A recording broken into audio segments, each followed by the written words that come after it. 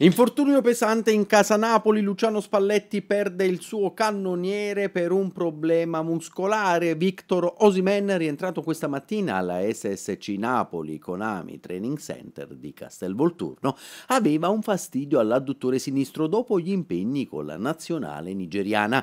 Si è sottoposto così ad accertamenti che hanno evidenziato una lesione distrattiva. Il numero 9 azzurro salterà sicuramente il match di domenica contro il Milan e quello quello di venerdì prossimo con il Lecce. Le sue condizioni saranno valutate all'inizio della prossima settimana, ma è fortemente a rischio anche per il doppio confronto in Champions sempre contro i rossoneri, valido per i quarti di finale. La possibilità di un forfè è ovviamente più alta per la gara d'andata in programma mercoledì 12 aprile a San Siro, piuttosto che per il ritorno in calendario martedì 18 aprile allo Stadio Maradona dove il Napoli spera di averlo in extremis.